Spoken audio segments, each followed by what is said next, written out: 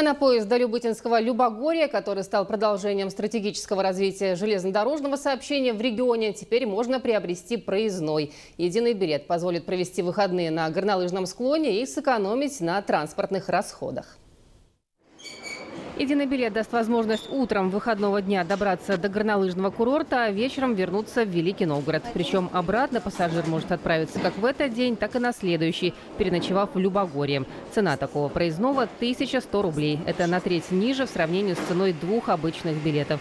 Предложение действительно только для пассажиров, которые не пользуются льготами и покупают билет за полную стоимость. Напомним, поезд до Любытинского района отходит от Новгородского перрона в 6.36. На конечную станцию Гамзина он прибывает в 11.25. В обратном направлении электричка стартует в 19.08, а финиширует в Великом Новгороде в 23.59. По такому расписанию поезд будет ходить до 17 марта.